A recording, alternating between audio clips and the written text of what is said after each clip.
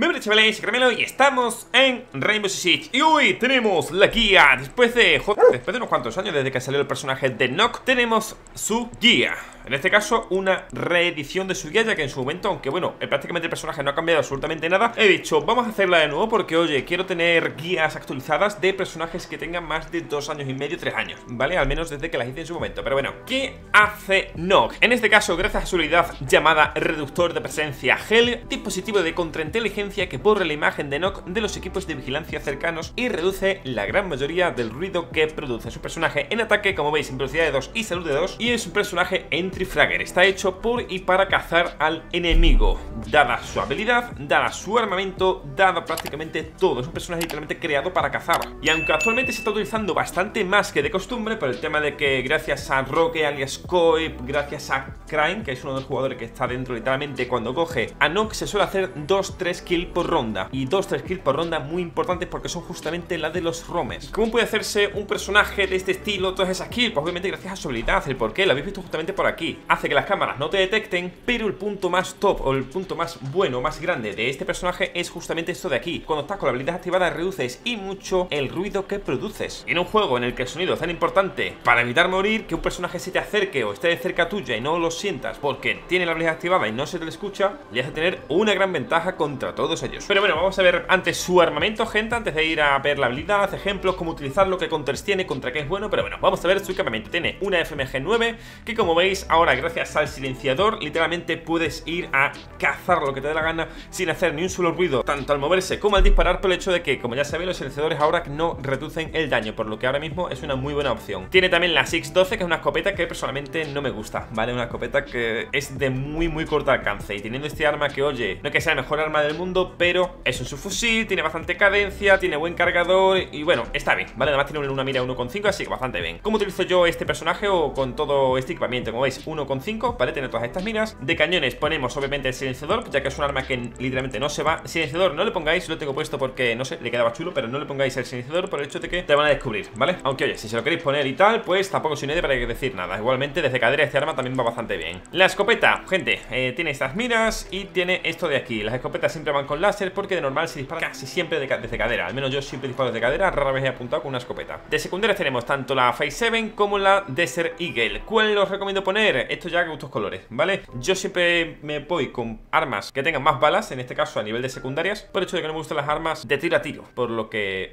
Oye, prefiero disparar con este arma que un tiro a cabeza es muerte, que además tiene 20 balas por cargador, a disparar con la DS Eagle, que sí, un tiro a cabeza es muerte, pero apenas tiene 7 balas. Que pegas un par de ellos, como estáis viendo, tiene 71 de daño. Yo siempre voy con la Phase 7, la verdad. Me parece un pedazo de arma. Igualmente, ambas con silenciador, de que como he dicho, no se reduce el daño. Y por último tenemos dispositivos, y aquí tenemos un poco de conflicto. ¿El por qué? De normal, este personaje siempre se ha jugado con granadas de fragmentación, ya que tenía la carga de munición pesada, pero cuando le pusieron las PEN se convirtió en algo bastante interesante. ¿Por qué? Os voy a un ejemplo muy sencillo. Gente, imaginaros que estamos jugando en un mapa, bueno, prácticamente te vale cualquier mapa de ejemplo, y estamos ruseando, estamos entrando a lurkear. El lurkear significa ir un poco a buscar suerte, ¿vale? En este caso para ir a cazar a, los romes o a todo el mundo. Imagínate que estamos cerca de punto y nos tapa la puerta un Aruni, o nos tapa la puerta un Mute, o nos tapa la puerta una Ela, una trampa enemiga, incluso un Melusi. Si tú tiras una granada, entre que la granada explota, el ruido que hace y tal, te van a detectar. Sin embargo, si tú llevas una pen, tú literalmente sacas la pen, tiras la pen contra el dispositivo, inhibes toda esa zona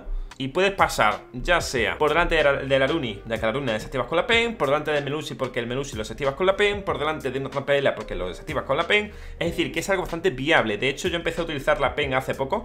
Me parece muy, muy, muy recomendable. Pero bueno, esto ya para gustos colores, ¿vale? Que os gusta tirar mucho el tema de granadas. Igualmente tenéis justamente ahora, ¿vale? Una guía del tema de cómo tirar bien las granadas y todo eso, ¿vale? Sobre dónde tirarlas. Os pondré bastantes ejemplos en mapas, tal y cual, ¿vale? Que vienen muy bien con este personaje. Que no os están demasiado bien las granadas o no soléis utilizarlas. Las granadas PEN son vuestro mejor aliado, amigos Ahora bien, ya que hemos visto su armamento y un poco en resumen su habilidad ¿Cuál es la función real de este personaje? La función real de este personaje, como su nombre indica, es la de cazar a los enemigos Ya sea personajes que están por fuera del punto, es decir, defensores que están fuera del punto Como por ejemplo los roamers Ya que obviamente si tú te quitas a los roamers del equipo enemigo Lo que vas a hacer es que a tu equipo le vas a dar la gran ventaja de que no le van a venir por la espalda, porque al momento que todos los atacantes están puseando el punto, lo único que pueden hacer algo son los que están fuera de punto, es decir, los roamers. Pero si los roamers los ha cazado Janok, literalmente les da una gran ventaja. Otra de sus funciones es la de hacerse kills rápidas, es decir, matar enemigos de manera muy rápida. El por qué, en el momento que este personaje entra al edificio, en el momento que activa su habilidad, prácticamente es invisible para el enemigo, porque no hace apenas ruido cuando se mueve. Y por cierto, algo a tener en cuenta, tú en el momento que lo activas, puedes andar, agacharte, correr, disparar, puedes hacer literalmente todo lo que te dé la gana, ¿vale? Que la habilidad, como veis, seguirá activa. Obviamente, al correr se te va a escuchar mucho menos que cuando estás sin la habilidad, pero tenés en cuenta que también se te puede escuchar. Vas a ser casi prácticamente imperceptible cuando vas con la habilidad y agachado, ¿vale? Porque aquí prácticamente no harás ruido. Ahora, si tú vas corriendo ahí con manolete, va a escucharse un poco menos. Sí que es cierto que cuando vas corriendo sin la habilidad, pero para que tú sepas que con la habilidad activada, al correr hace menos ruido que de normal, ¿vale? Como iba comentando, en el momento que tú activas esta habilidad, literalmente vas por todo el mapa buscando enemigos, buscando a los roamers. O incluso puedes pulsar perfectamente el punto tú solo, que seguro te vas a llevar alguna kill rápida. Y otra función es la de quitar información al enemigo, como ya sea rompiendo cámaras, ya sea puseando zonas en las que el enemigo podría estar, pero ya no está. Por tanto, oye, no están aquí o no están tal. Oye, tengo controlada la posición de tal. ¿Qué significa eso? Que el enemigo puede estar justamente en el otro lado contrario. Por tanto, también es un personaje de información como tal. Pero bueno, esto ya es un poco más obvio, la verdad. Ya que tú el momento que vas pulsando por una zona, sabes que lo que está detrás, lo que acabas de pulsar, está limpio. Pero bueno, gente, en resumen, la función de este personaje es llevarse esas kills primerizas, esas primeras kills o esas kills rápidas en el equipo. Y gracias a que literalmente ahora es un fantasma, porque ahora no, mejor dicho, una fantasma, pero hace ser un personaje que sí es bastante bueno en ataque, pero que obviamente si no sabes de posicionamiento, no sabes de game sense, no tienes todo este, digamos, toque para ser un buen cazador, no te va a servir de nada. De nada vale que tú vayas jugando con Nock y no sepas utilizarla. No porque seas un personaje de contrainteligencia vas a tener que ir todo el rato a cazar a enemigos. Muchas veces te interesará incluso más meterte en punto, o habrá veces que no te interese meterte en punto, sino más bien ir a zonear o ir, digamos, ir a vigilar una zona. Puedes saber que de normal una persona sale de ahí porque, por ejemplo, es un pulse y suele estar en tal posición y tienes que ir a cazar a esa persona. Pero bueno, gente, sin más, en resumen, cazar roamers, coger y denegar información y ser el primer personaje que haga kills en el equipo. ¡Eh, tú! ¡Sí, tú! ¡He vuelto cabronazo! El poderío de likes. Ven que ese like que yo lo vea o me enfado. Esa es, muy bien, venga, adelante, a proseguir con el vídeo.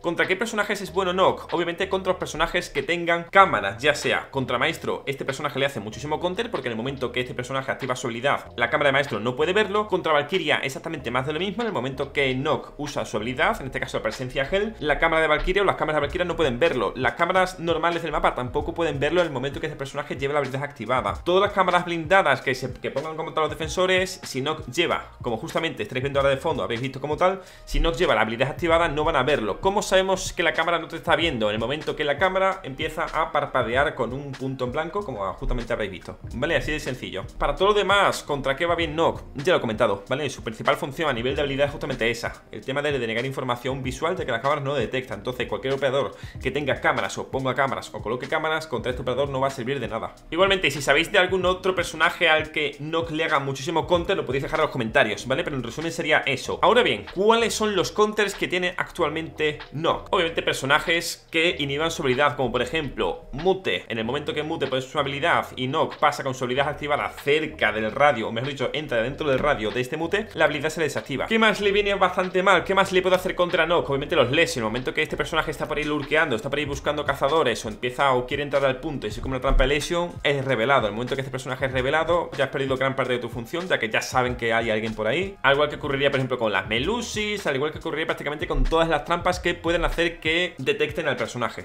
Y amigos, algo que decir, es de las pocas veces que estoy bastante de acuerdo con la dificultad que le ponen, porque aunque este personaje literalmente sea como, bueno, es un personaje que va a cazar y tal, no, pero es un personaje bastante complicado, ya que, como he dicho, es la primera vez que estoy de acuerdo con esto y tiene dificultades de 3. ¿Por qué? Porque es un personaje bastante, bastante difícil de utilizar, ya que no todo el mundo simplemente, ah, bueno, es un personaje para cazar, venga, me lo cojo. No tiene por qué, como justo he comentado, si no sabes de mapas, si no sabes qué va a hacer el enemigo o dónde puede estar el enemigo, si no tienes buen game sense, es decir, buen conocimiento del jugador, de los jugadores, en resumen, a nivel de juego, este personaje se te va a complicar. Y bien, mi gente, dicho ya todo esto, yo cómo utilizaría a Nock. Vale, mi equipamiento perfecto sería la FMG, la Five 7 y granadas de impacto PEN. El hecho de que tú puedas entrar a donde te dé la gana, haya lo que te dé la gana, o mejor dicho, haya lo que haya, ya sea trampas de Aruni, que ahora están bastante de moda, trampas de Capcan, de Lesion, de literalmente lo que te dé la gana, con esto puedes entrar directamente a cualquier sitio solamente tirando una PEN y ya está. Inhibido está todo, inutilizado y puedes entrar donde te dé la gana. Así que este sería mi equipamiento. Ahora, ¿qué suelo hacer yo con Nock cuando lo utilizo? Lo que hago es entrar por una ventana bastante alejada al punto O por una puerta. Además suelo hacer la entrada bastante rápida Que por cierto, vuelvo a dejar aquí una nueva guía Para justamente, o mejor dicho, no, no, no una guía Sino más bien un vídeo de cómo entrar muy rápido a los sitios Que esto es mucho más rápido que lo que la gente dice de No, menos es más rápido pegar dos golpes No es más rápido pegar dos golpes que hacer esto Por el hecho de que simplemente no lo es. He estado comprobando, lo es mucho más rápido pegar un golpe, disparo y entras. Literalmente es muy rápido y la gente no se lo espera Cuando entro así por una ventana o una puerta Lo que voy primero haciendo es, me voy acercando al punto Pero con mucho cuidado, ¿vale? Tanto de que no estén viendo las cámaras como de que pueda haber roamers. De normal los roamers se suelen localizar en ciertas posiciones Por lo que de primeras lo que suelo hacer son dos cosas. Una de dos, o voy directamente a cazar a ese roamer O voy directamente hacia el punto. Depende de lo que haya droneado previamente Voy haciendo una cosa u otra, ¿vale? Que voy viendo que hay demasiada gente en punto. Vale, entonces igual me renta mucho más ir a cazar a ese roamer. Que veo que hay varios roamers tal y cual Pues entonces me renta igual incluso un poquito más Meterme al punto para intentar llevarme esa primera kill de esa persona en punto Y así esperar a que los roamers vengan mientras yo estoy campeando justamente esa posición por la que ellos van a venir Así llevarme otra kill bastante fácil. Pero en fin, al final todo es cuestión de lo que pasa en la partida Por eso este personaje es tan complicado de utilizar Porque necesitas buen game sense. No te voy a decir yo una cosa y va a pasar eso Obviamente no, todo es variable. Igual entras por una ventana, quieres ir a punto y justamente hay cuatro roamers No tiene ningún sentido, pero por eso digo que esto es muy variable. Pero bueno gente, si has llegado justamente hasta este momento del vídeo Comenta en los comentarios